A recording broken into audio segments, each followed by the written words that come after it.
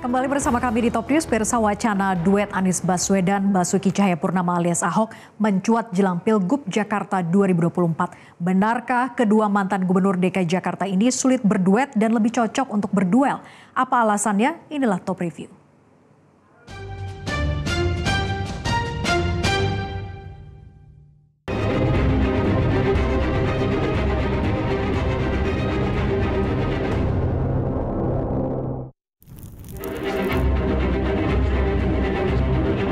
Wacana duet Anies Baswedan, Basuki Cahayapurnama alias Ahok mencuat jelang pemilihan Gubernur Daerah Khusus Jakarta 27 November mendatang.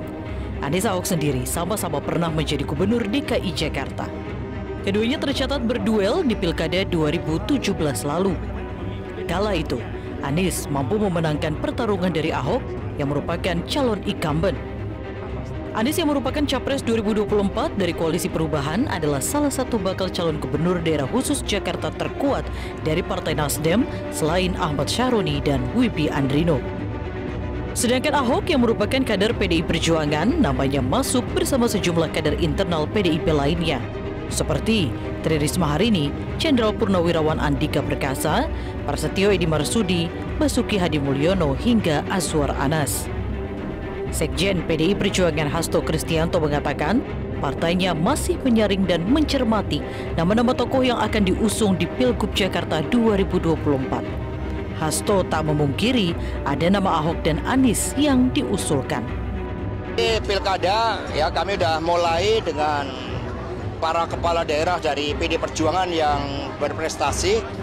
Hari ini setidaknya sudah ada 70 ya surat tugas yang dikeluarkan, sedangkan rekomendasi yang nanti akan dikeluarkan oleh uh, Ibu Ketua Umum, Ibu Megawati Soekarno Putri.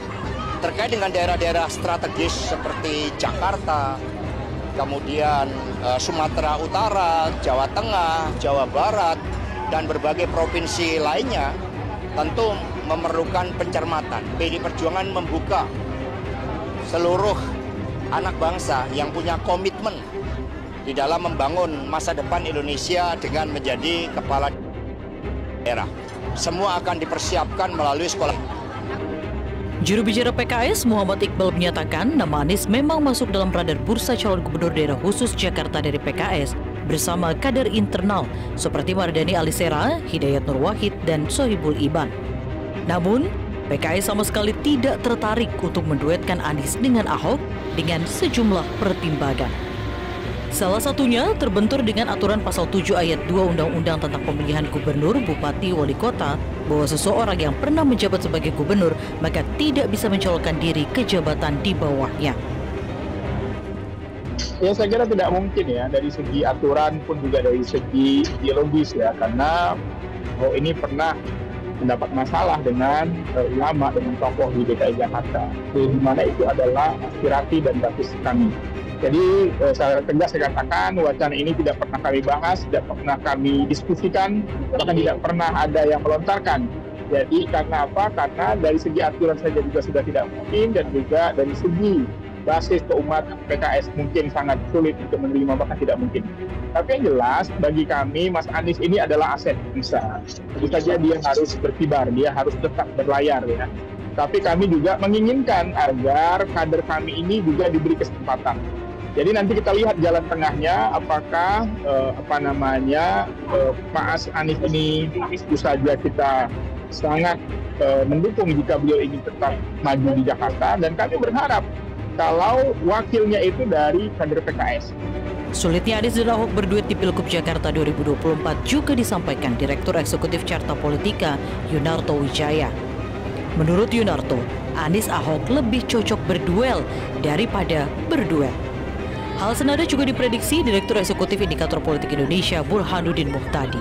Baginya, wacana Anies Ahok tak perlu dipaksakan, apalagi peluang menang tipis apabila keduanya disandingkan. Saya ingin sekali melihat pertarungan ulang Anies dengan Ahok tanpa isu sara.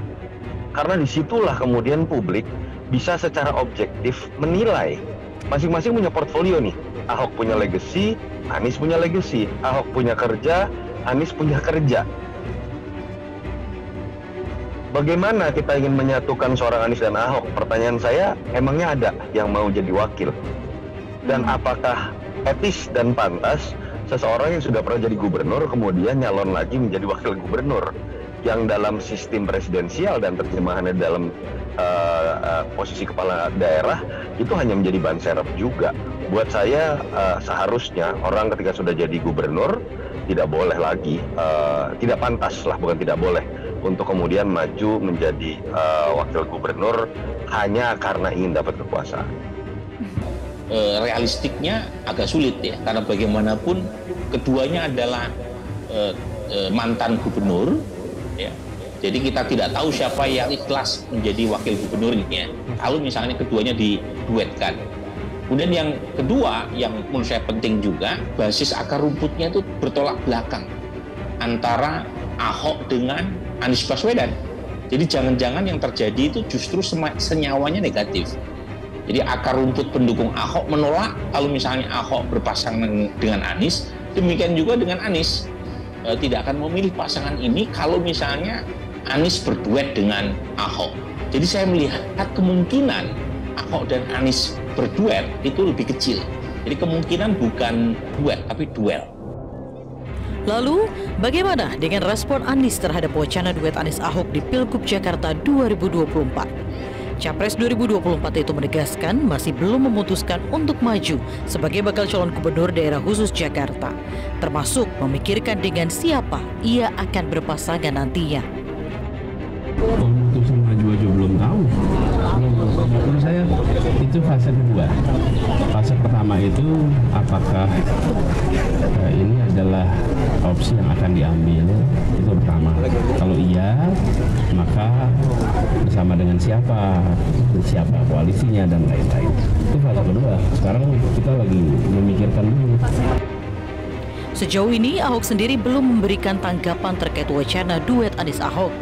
Namun, bagi Capres 2024 Ganjar Pranowo, duet Anies Ahok di Pilgub Jakarta 2024 memang sekedar wacana belakang.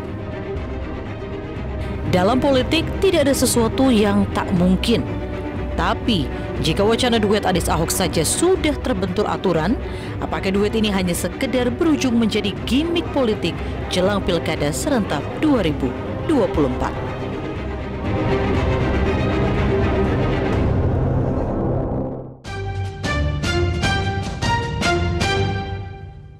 Jelajahi cara baru mendapatkan informasi. Download Metro TV Extend sekarang.